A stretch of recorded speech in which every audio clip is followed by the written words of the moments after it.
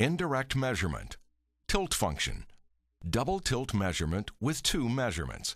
Example, measuring the length of an angled roof rafter. Note, this feature uses the internal tilt sensor to determine the angle and therefore must be used for measurements in the same plane. Turn disto unit on by pushing on dist, red button at top center of keypad. Push indirect tilt sensor button four times, fourth button down and center to select double tilt measurement with two measures. Aim laser dot at peak of the roof, press on dist, wait for beep to record angle and distance.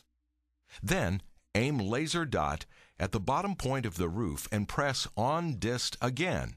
The total length of the roof rafters will be displayed in the lower right corner. Additional information can be calculated by pressing and holding the function button until it beeps.